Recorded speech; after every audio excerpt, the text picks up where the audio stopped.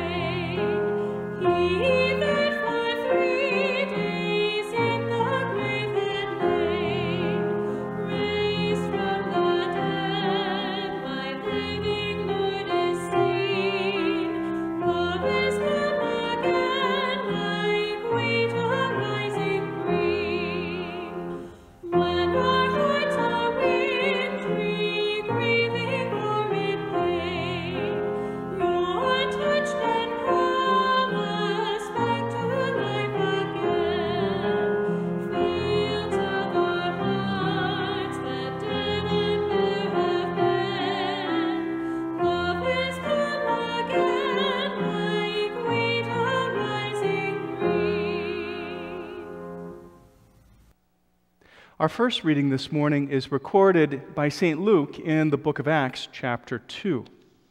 You'll notice the background for this morning's reading is a fleur de lis, also known as the iris.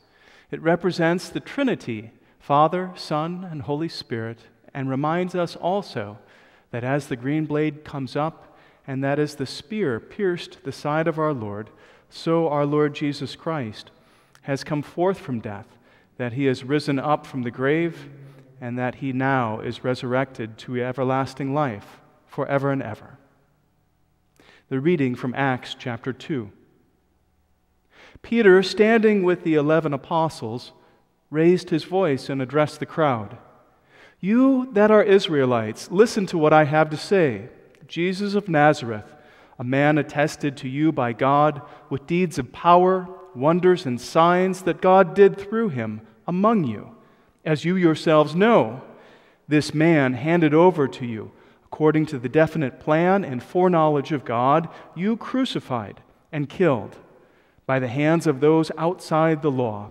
But God raised him up, having freed him from the power of death, because it was impossible for him to be held in its power.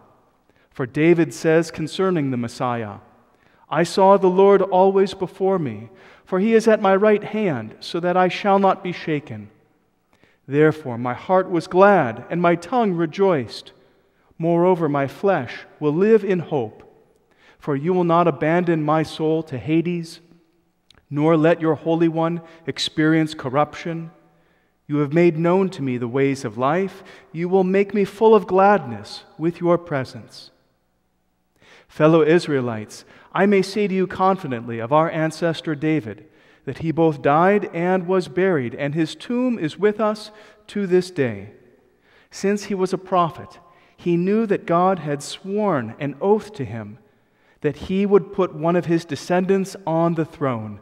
Foreseeing this, David spoke of the resurrection of the Messiah, saying, He was not abandoned to Hades, nor did his flesh experience corruption.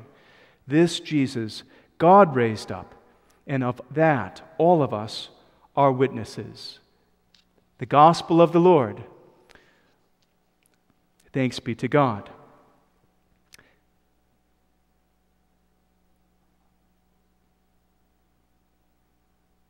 A reading of Psalm 16.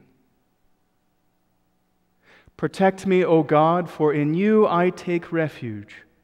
I say to the Lord, you are my Lord. I have no good apart from you. As for the holy ones in the land, they are the noble, in whom is all my delight. Those who choose another God multiply their sorrows. Their drink offerings of blood I will not pour out, or take their names upon my lips. The Lord is my chosen portion and my cup. You hold my lot. The boundary lines have fallen for me in pleasant places. I have a goodly heritage. I bless the Lord who gives me counsel. In the night also my heart instructs me. I keep the Lord always before me, because he is at my right hand. I shall not be moved. Therefore, my heart is glad, and my soul rejoices. My body also rests secure. For you do not give me up to Sheol or let your faithful one see the pit. You show me the path of life. In your presence there is fullness of joy. In your right hand are pleasures forevermore. Amen.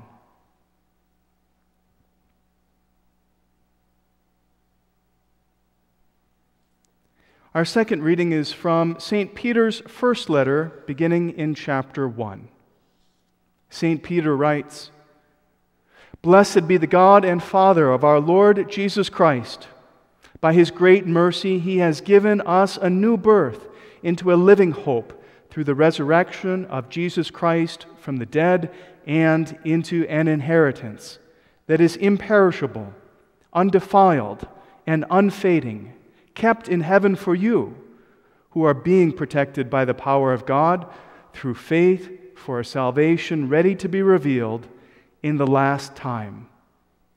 In this you also rejoice, even if now, for a little while, you have had to suffer various trials, so that the genuineness of your faith, being more precious than gold, that, though perishable, is tested by fire, so that the genuineness of your faith may be found to result in praise and glory and honor when Christ is revealed. Although you have not seen him, you love him. And even though you do not see him now, you believe in him and rejoice with an indescribable and glorious joy, for you are receiving the outcome of your faith, the salvation of your souls. The word of the Lord. Thanks be to God. The gospel text comes to you today from John 20, verse 19 through 29. It reads On the evening of the first day of the week, when the disciples were together with the doors locked for fear of the Jewish leaders, Jesus came and stood among them and said to them, Peace be with you. After he said this, he showed them his hands and side. The disciples were overjoyed when they saw the Lord. And again Jesus said, Peace be with you. As the Father has sent me, I am sending you. And with this he breathed on them and said, Receive the Holy Spirit. If you forgive anyone's sins, their sins are forgiven.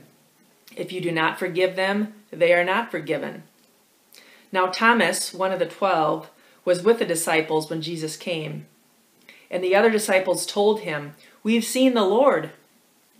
But he said to them, Unless I see the nail marks in his hands and put my finger where the nails were and put my hand into the side, I will not believe.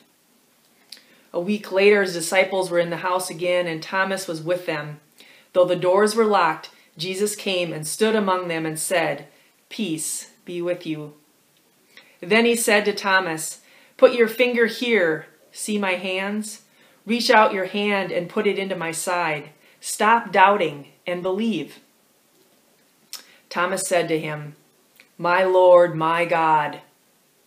Then Jesus told him, Because you have seen me, you have believed. Blessed are those who have not seen and yet believe. Here ends the gospel. Grace and peace to you from God our Father, Lord and Savior, Jesus Christ. Amen. I can imagine that most of you spent this past weekend, Easter, celebrating in some fashion, some way you're trying to, in a social distance way, still have the traditions that you've had in past years. And that makes me think of a tradition that I had when I was a kid. My brother and I would get up really early before sunrise service and we would go searching for the Easter basket that the Easter bunny left in our house. But it was hidden somewhere, and we had to find that Easter basket. And it was our pleasure to go searching for that basket because we knew it would be filled with so many wonderful things. We didn't earn this basket. It really it didn't matter whether we were naughty or it, we were nice. Um, Easter morning, we were going to have an Easter basket there for us. It was given to us freely. And so we were so excited to run around the house looking for this basket. Jesus, in our gospel text, gives his disciples something free, something that they did not earn, something that they didn't deserve. Jesus shows up among the disciples and they are behind the locked doors. They are absolutely terrified. They're they're scared that the Jewish leaders are going to come find them and kill them.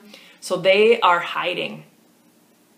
So they are collecting things of the flesh, things that the world gives them, which is fear and um, and and just being afraid and and so they're hiding behind this locked doors. And so they're collecting things that aren't aren't great. I I would venture to guess a question for you would be what also are you collecting? What are you putting in your basket? What are the things that affect you? And I have a basket here today. It's kind of unusual looking items inside.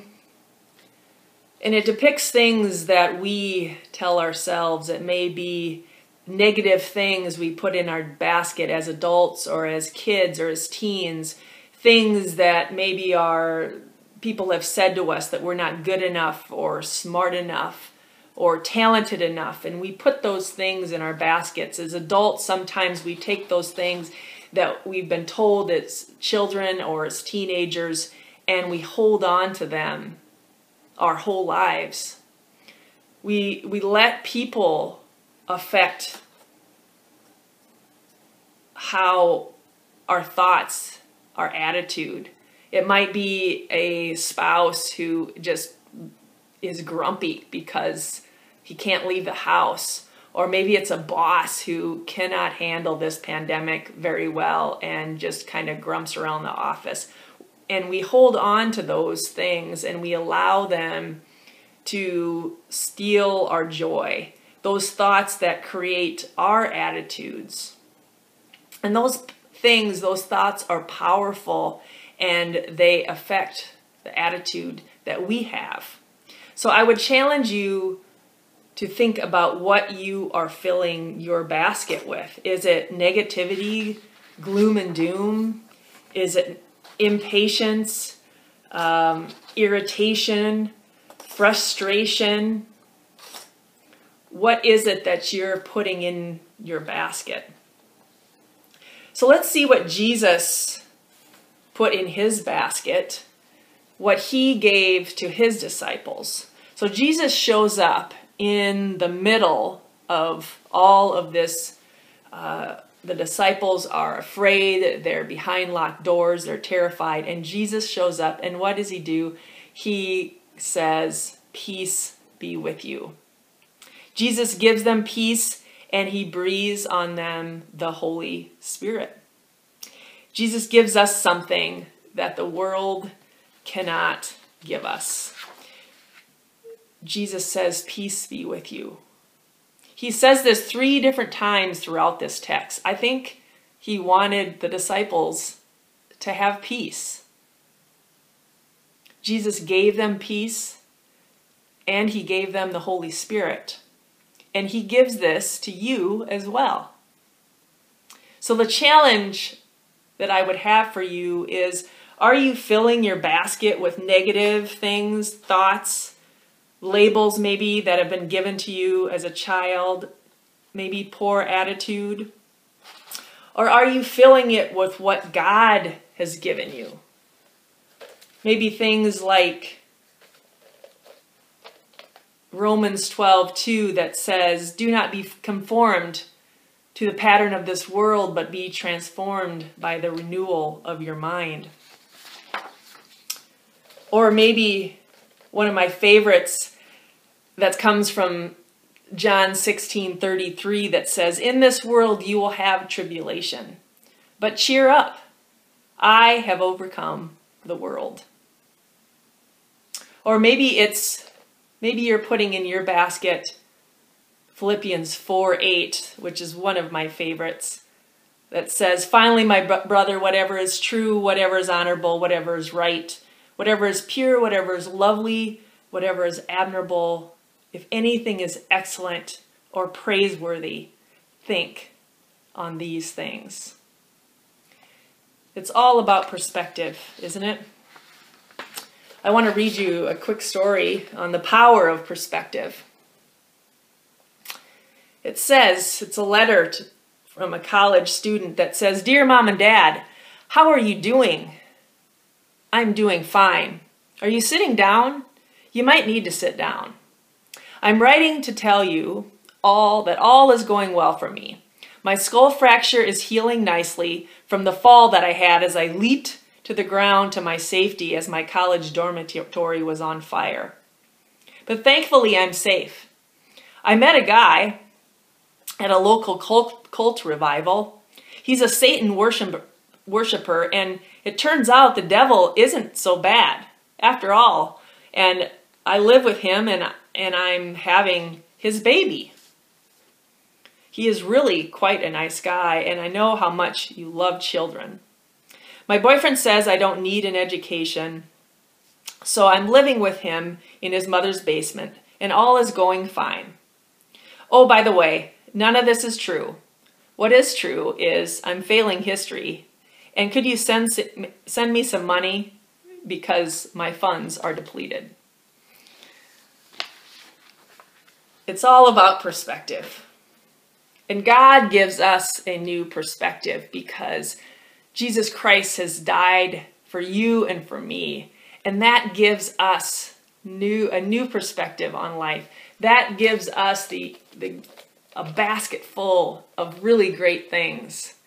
That gives us an eternity with him. Peace be with you. Amen. The children's sermon today is about the really exciting thing that happened last Sunday. Can you remember what happened a whole week ago, last Sunday? What was last Sunday? It was Easter, right? And that was a really exciting day. Now, if you remember what makes that really exciting, you can tell your mom or dad or whoever you're with at this time, you can tell them what you know about Easter. So, what do you know about Easter? So, Easter isn't just about the Easter bunny or Easter baskets or chocolate, right?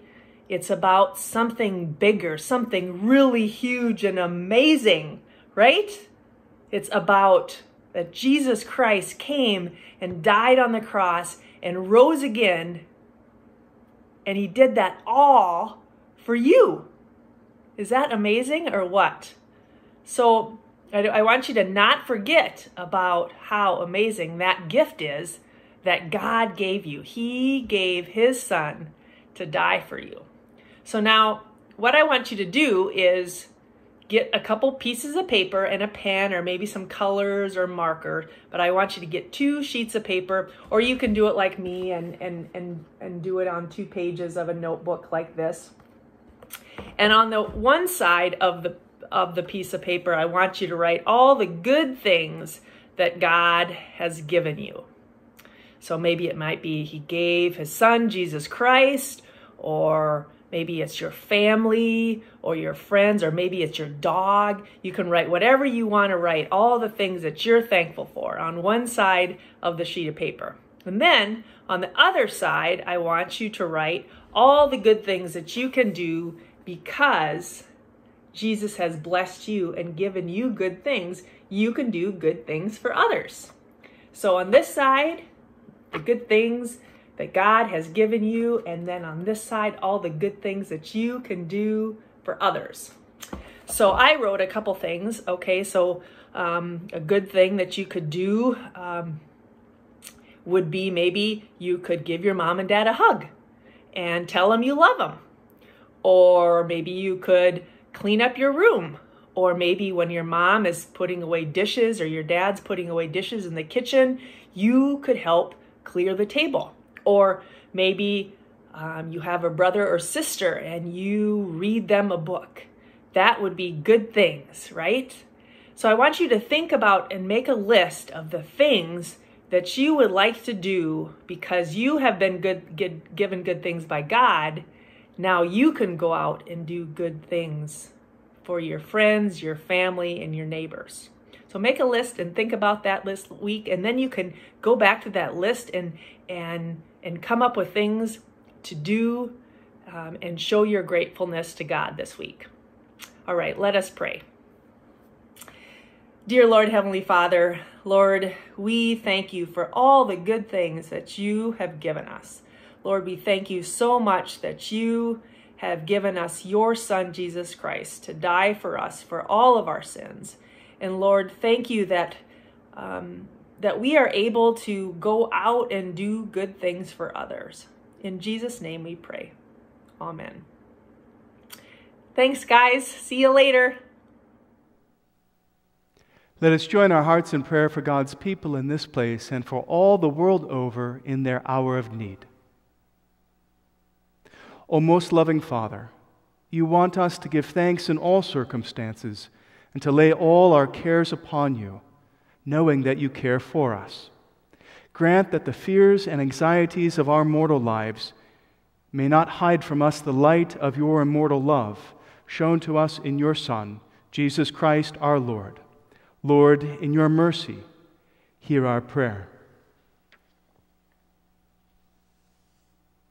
O Lord God, you are full of compassion, and so we commend ourselves to you, and especially we give over to your loving care Tyler, Gary, Lily, Melvin, Vern, Walker, Audrey, Cade, Dieter, Dylan, Alex, Robin, Moni, and Ardith. O Lord, you know the needs of your children, and so we ask that you remember every promise that you have made to them. O Lord, for each of us and for all of us together, be the goal of our own earthly pilgrimage. Be our rest upon the way. Give us refuge from the turmoil of worldly distractions. Shelter us, O Lord, beneath the shadow of your wings. And let our hearts, so often a sea of restless waves, find peace and rest in you. Lord, in your mercy, hear our prayer.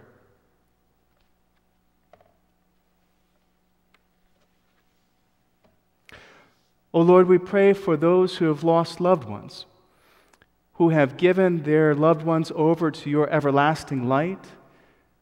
O oh Lord, together we remember Verna, Bev, Norm, Jean, Evelyn, Dan, Joan, and also those whom we name now in the quiet of our hearts.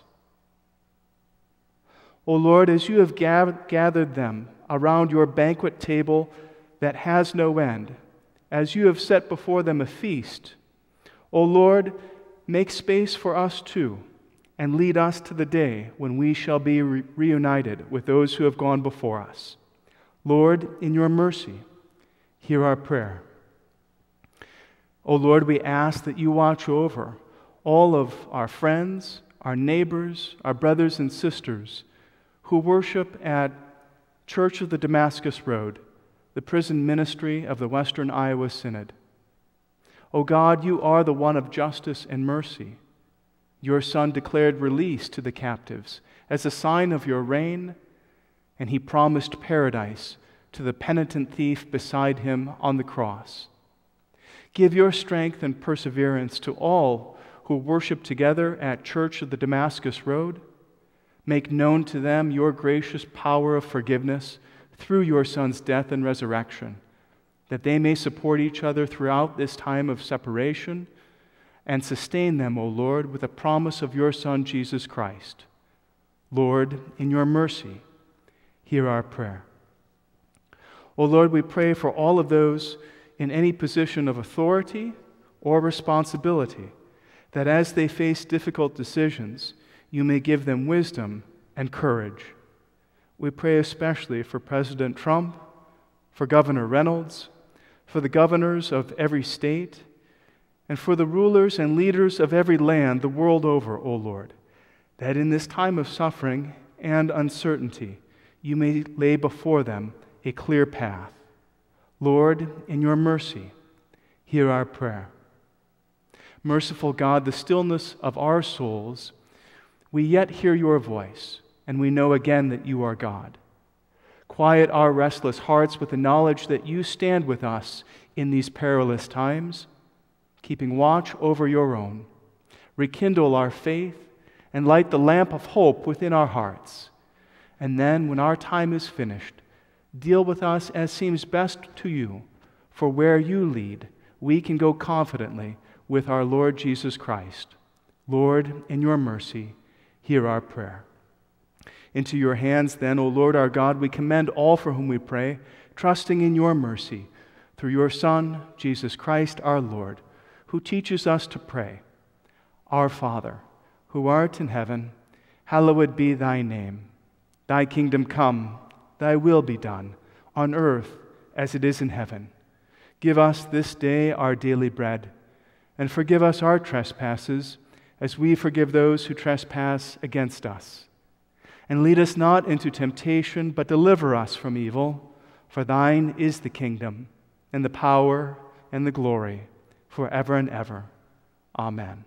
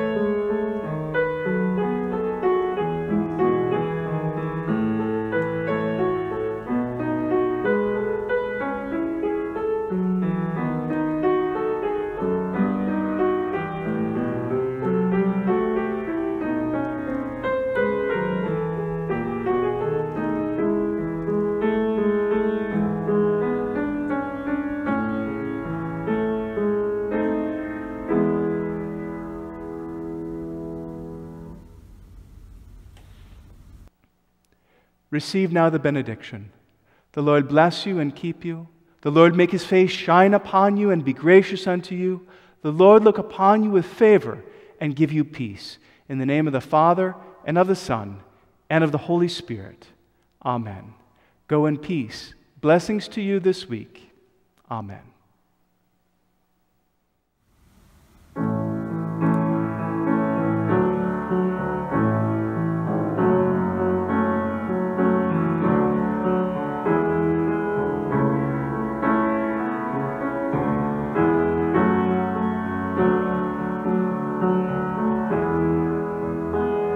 up